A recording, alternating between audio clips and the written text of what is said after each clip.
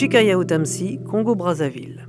Presque contemporain d'Achebe, entre en scène un autre grand de la littérature africaine, le Congolais Chikaya Utamsi. Décédé jeune à l'âge de 58 ans en 1988, Chikaya Utamsi investit avec la même ferveur créatrice tous les champs de la littérature, poésie, théâtre et roman, chronologiquement dans cet ordre-là. En poésie, il se reconnaît un maître, Arthur Rimbaud, et par exemple dans le beau recueil de poésie intitulé Épitomée, où l'influence de l'homme aux semelles de vent, qui d'ailleurs se disait nègre, est apparente. Mais elle ne peut expliquer à elle seule l'originalité de l'œuvre si profondément inscrite dans la réalité africaine. Que tu es sale, Christ, d'être avec les bourgeois, s'écrit le poète congolais, que le sacrifice de Patrice Lumumba bouleverse avec une telle intensité qu'il se trouve au centre de son inspiration. Épitomée dit d'abord, et de façon poignante, la douleur et la fierté d'être noir.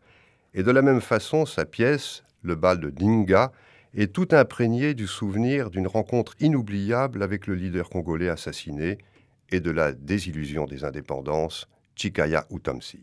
En 60, un coup de tonnerre, c'est la réelle indépendance de l'Afrique qui commence alors que j'avais vécu les phénomènes de la loi cadre, des indépendances de 58 ou ceux de, de 60. Mais en juin 60 commence vraiment pour moi une geste magnifique, celle de Patrice Lumumba. Et euh, je suis croisé. Je pars, je pars sans armes et bagages, avec une passion contenue et parfois tonitruante. Et j'arrive à Kinshasa et je rencontre l'homme le plus fascinant que j'ai jamais rencontré après mon père, Patrice Lumumba.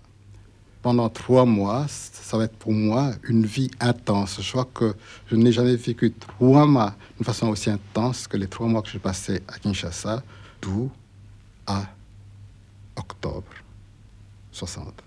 Enrichissante. Pourquoi? Parce qu'il y avait une préfiguration de la matérialité de ce que j'avais rêvé de ce que mon père avait souhaité. Et là, euh, bon, je vais faire des rapprochements qui sont peut-être un peu hâtifs ou qui plaident pour mon propos, mais euh, mon père est mort le 16 janvier 1961. C'est la mort de Lumumba. Elle se situe environ ces dates-là. Et je le dis d'autant plus volontiers parce que j'ai vu Lumumba, à qui j'étais présenté, se montrer révérencieux, respectueux, envers moi qu'il croyait être mon père. Ça, avait beaucoup de sens pour moi, une signification irremplaçable. Voilà ma grande aventure au Zaïre, qui tient sur trois mois, mais trois mois d'un travail intense. Et c'est la première fois d'ailleurs que je travaille en Afrique. Ndinga, Ndinga, j'insulte la bêtise qui le retient là-bas au milieu du terrain à découvert. L'indignation m'étouffe de le voir ainsi exposé, fou, inconscient. Mais qu'est-ce qu'il fout là? À la fin de ce séjour, qui n'a été que de trois mois, j'ai reçu un, choc tel que j'étais marqué euh, pendant longtemps par cette période-là. La grande espérance, comme Dinga vit le 30 juin, demain il sera un homme, demain euh, tout, tout, sera possible, demain euh, prendra fin euh, l'exploitation, la misère, euh, l'indignité. Euh, demain, c'est-à-dire demain le 30 juin, c'est l'affranchissement. Demain, le 30 juin, tout Congolais sera maître de son destin. Ah Ce n'était pas croyable, ce sentiment fait à la fois de joie et de nostalgie, une excitation qui mène au bord de l'extrême délire, comme, comme une envie de mourir et de ressusciter dans les limbes, au paradis sur terre.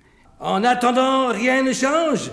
Ce 30 juin est un jour de travail comme un autre. Les mauvaises têtes, il faudra voir, hein il ne faut pas se mettre des idées dans la tête. De toute façon, la fête du 7 juillet, l'indépendance du Congo était achevée, était terminée. Il n'y en avait plus d'indépendance du tout. on retombait de Caribansila. Quant à la phrase de Lumumba, euh, bien sûr, Lumumba, euh, dans, le texte, euh, euh, il n'y a aucun homme politique, sauf dans la chanson qui sert presque de leitmotiv et qui donne de la tripe à, Dinga, puisqu'il est au bal. toute l'émotion que ressent Dinga, le catalyseur, c'est une chanson euh, qui, en 60, euh, dans ces mois-là, a été le chant de tous les Africains, parce qu'on l'a entendu dans sur toutes les ondes, indépendance tchatchat au indépendance tchatchat au aux tables rondes, etc. Écoutez Écoutez ce que j'entends ce matin qu'il chante pour répondre au coq de Tata Sakabouvou. Na sereko, na habako, bakendeki, na front commun, indépendant, cha-cha, do Aux tables rondes, cha-cha, do gagné.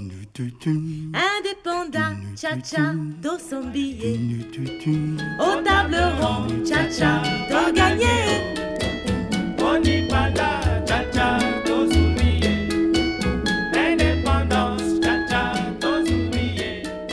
Parmi les autres pièces écrites par euh, Chikaya figure le Zoulou, un sombre drame qui fait songer au Macbeth de Shakespeare.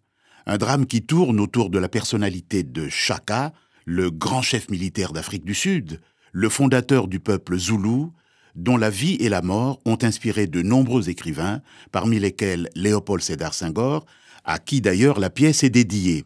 Le Zoulou a été créé au Festival d'Avignon en 1976.